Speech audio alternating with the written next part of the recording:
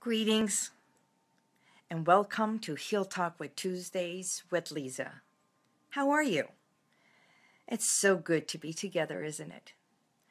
Well, today's session is going to be about um, emotions, emotions stored in our body, and uh, how we can release them. Allow me to introduce myself. I'm Liza Boubari. I'm a clinical hypnotherapist, stress management consultant, and yes, a speaker. Today's session is uh, about the emotions that truly we store in our body and um, all the diseases and the discomfort that we feel. Because as you know, as you may be aware, that our muscles have memory.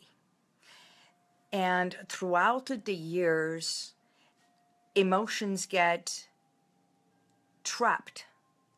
They get trapped in our muscles, uh, they get trapped within ourselves.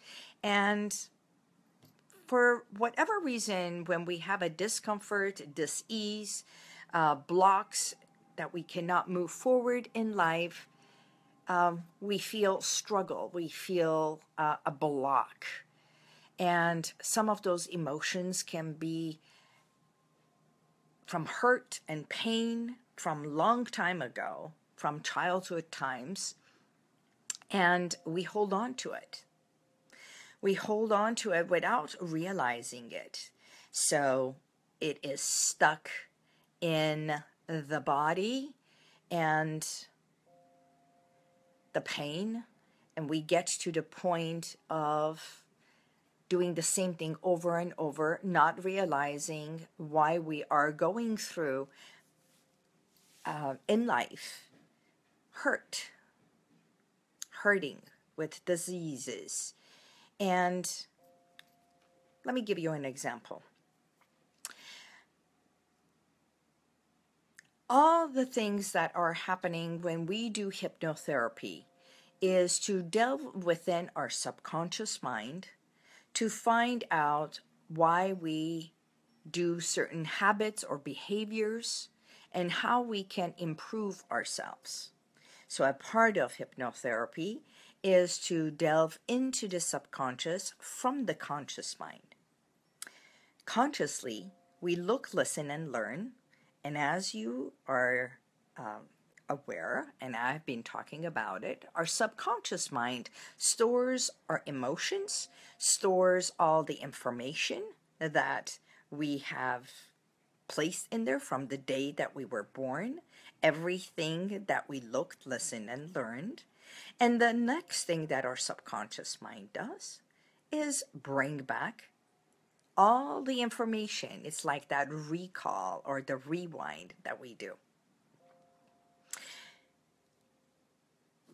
When we tap into the subconscious mind, is to reveal parts of our emotions, the blocks, the habits, the behaviors that we have been holding on to that in a way has not benefiting us or perhaps it's not benefiting us today. And that's when we want to make the change. So I ask you, have you not had any type of a habit or a behavior that you want to change? We all do.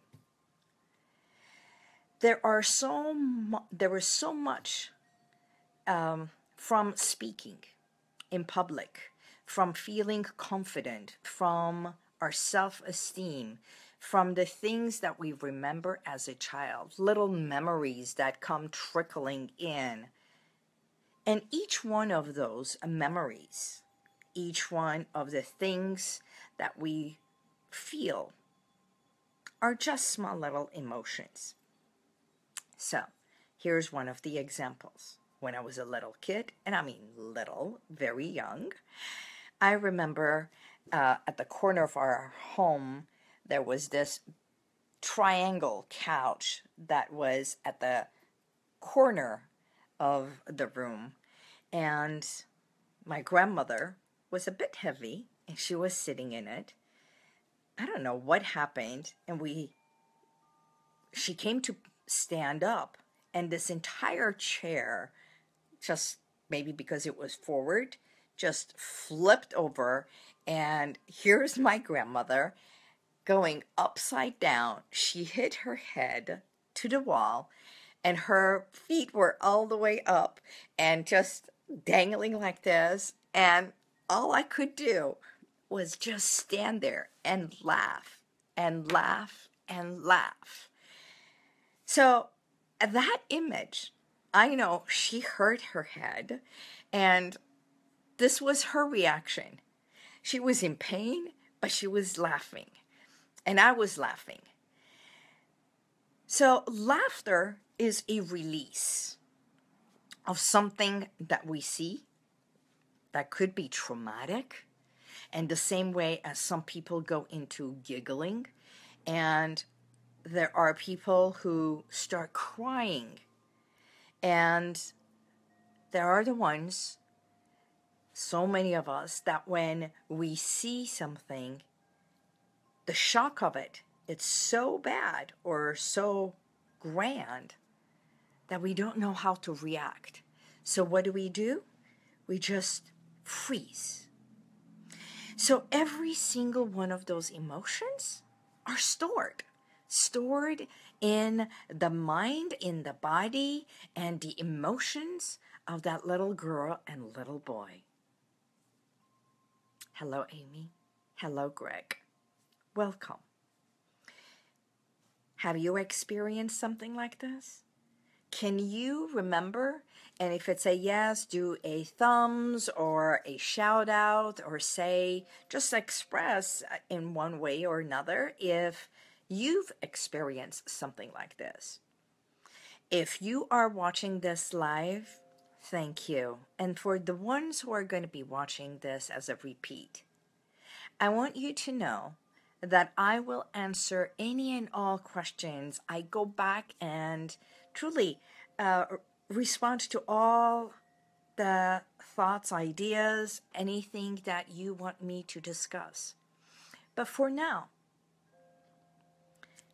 can you recall anything that you have stored, or even if you have a child and you see your children doing something and you are in awe with them and you just bank that memory, and we've talked about banking memories and putting that save button, right?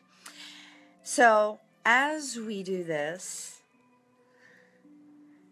isn't this beautiful? Someone in the background is playing in great music. And how do we cope with emotions that instead of expressing, we hold on to it? So, as we hold on to it, it's stored. Now, that thing, that memory, like my grandmother and me laughing, and what happened afterwards, I remember. I think it, she got up, I helped her up, and we were still laughing.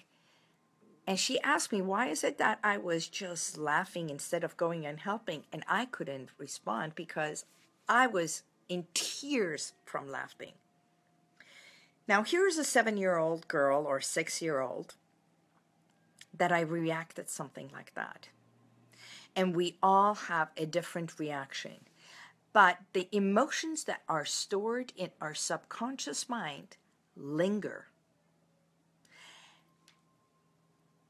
And through hypnotherapy, we delve into the subconscious to release trauma.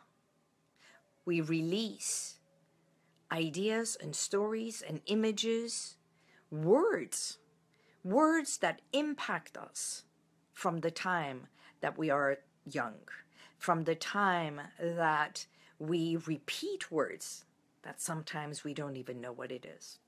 If you're a parent, I'm sure you've heard your children say words that comes out of their mouth and you wonder where did they learn that from? Well, there's always the media. There's always when you talk and when you say things. And they are what? Like sponges. They are a sponge that everything they see, they hear, they repeat. You see, it gets stored just like seeing, hearing, storing. It gets stored. And because young kids do not have the filter like us, they express it much faster. And they say it, repeat it, without having anything to analyze, reason, judge, and criticize. So, what you see is what you get. There is not much of a filter in there. And that is why they say when you want the truth, ask a kid. As children, not only we say it, but guess what? We also have learned, and because we observe our parents, we have learned and we learn to store the information and not express it. Because somewhere, someone told us, you're not supposed to cry, you're not supposed to express, and the secrets are to stay. So, kids, hold on to secrets without knowing why because they observe their parents. And most of the children that hold on to secrets is the children that see traumatic things happen. When it's funny, we laugh, we express.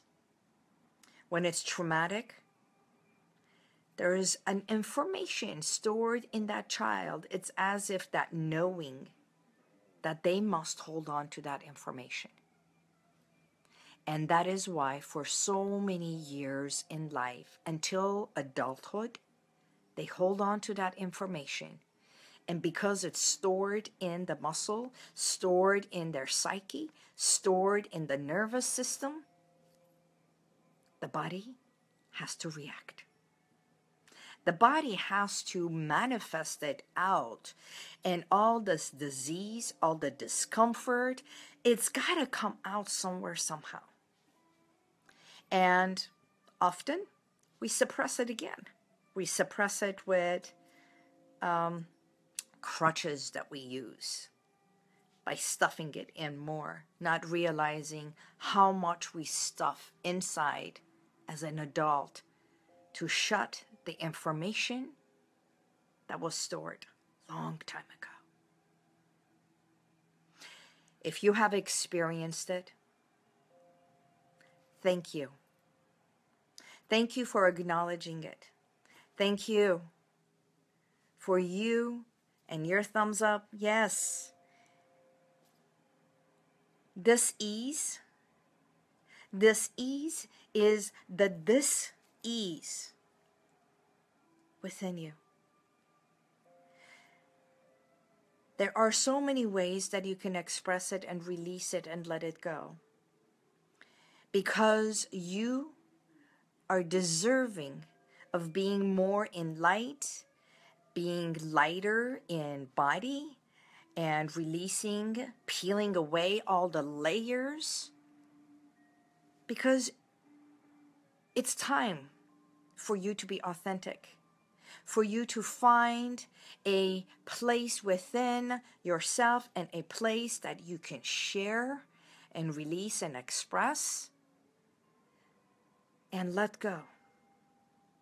Let go of secrets. You know, one of the things that I say is secrets can make you sick.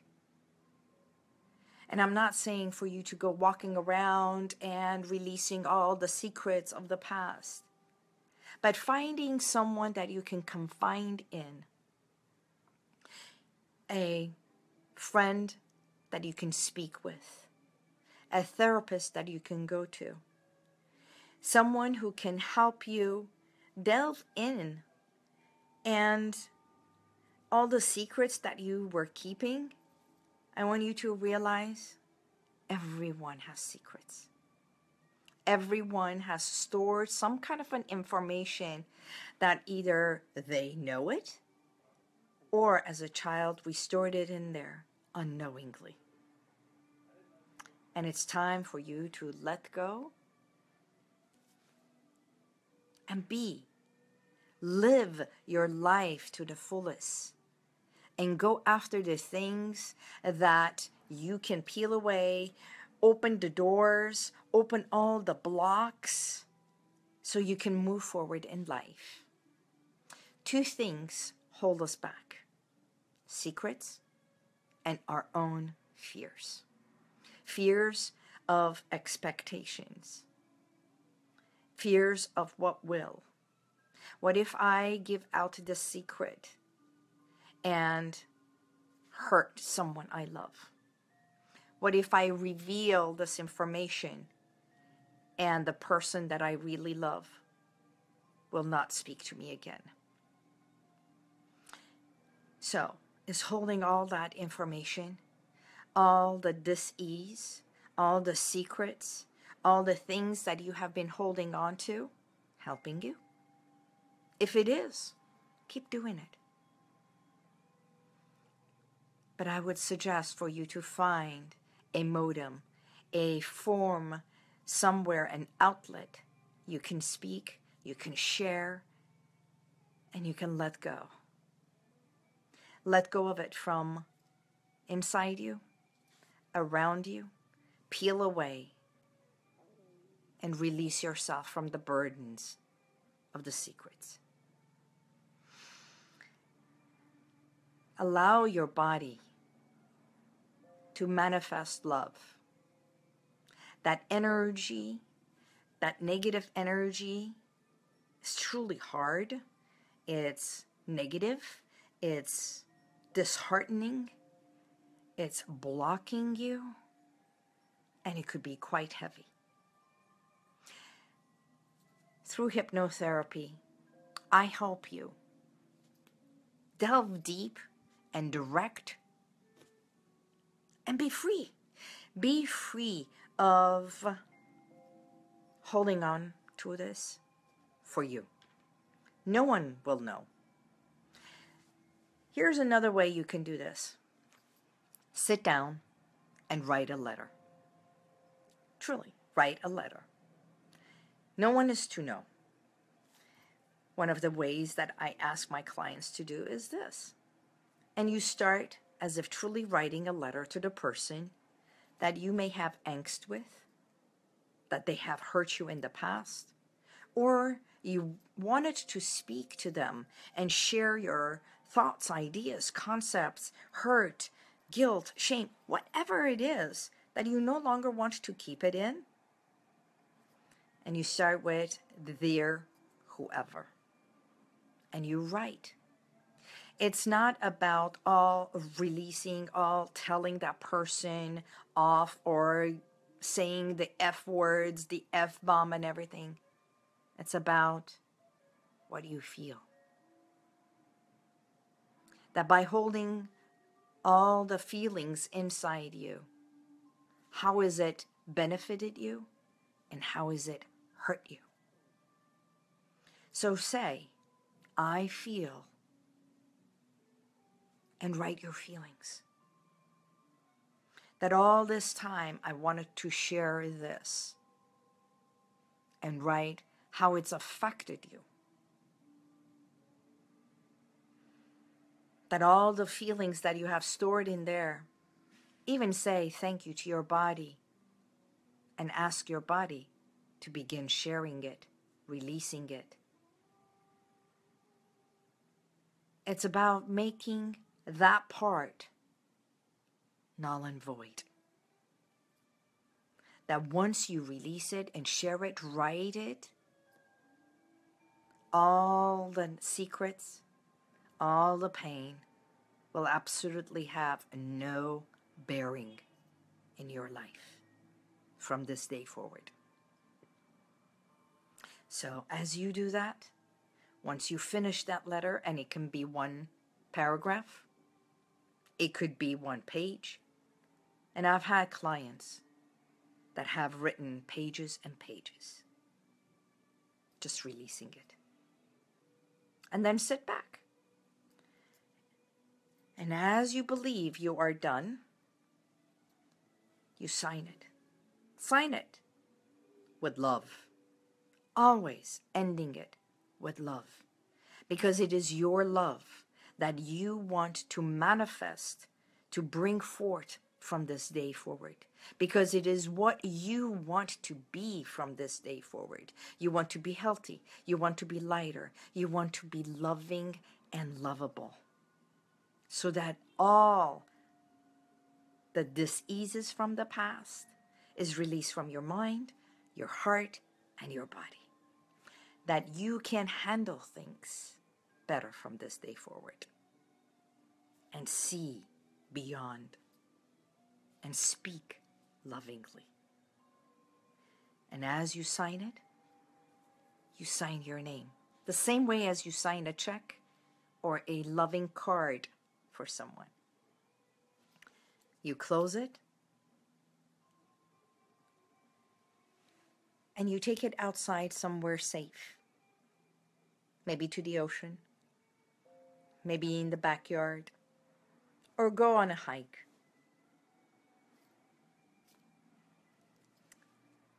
And you burn that letter. The ritual of burning that letter in a safe place. Make sure you are doing it in a safe place, that there is no wind, that there is nothing else that will catch fire because it's small, it's contained. Make sure that you do it in a contained place.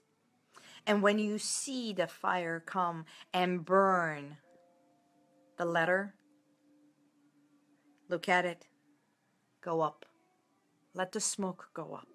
And as you see it go up, send it to the angels, send it to the cloud, and let it go. let it go. And let the bygones be bygones. As you feel lighter and stronger, loving and lovable. Evoke what was. Embrace what is today, right here, right now, the reality. And evolve to what will be. The future and what you want to transform to. Because you do matter.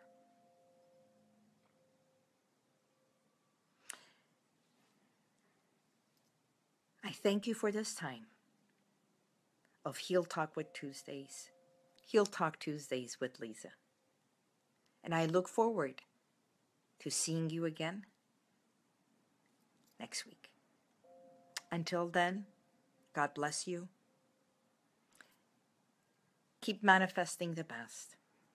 Release it and let it go. And remember that you do matter. Thank you. Thank you, Claudia. Thank you, Hamas Gain. Thank you, Robert, Amy, and every one of you that follows me, supports me.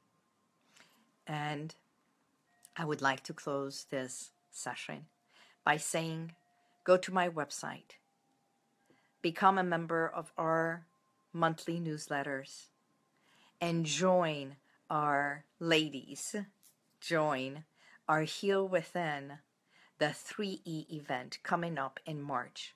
And the first 97 people who sign up to be a part of this amazing event that we have coming up on March 11th at the Embassy Suites in Glendale with incredible speakers so that you can transform, that you can evoke what was and embrace what is and evolve to the best because that is the day dedicated to women. It is a day rewarding you. It's not about the labels, it's not about the awards, but a day dedicated to you to reward yourself and ignite the best in you. All the information is at our website.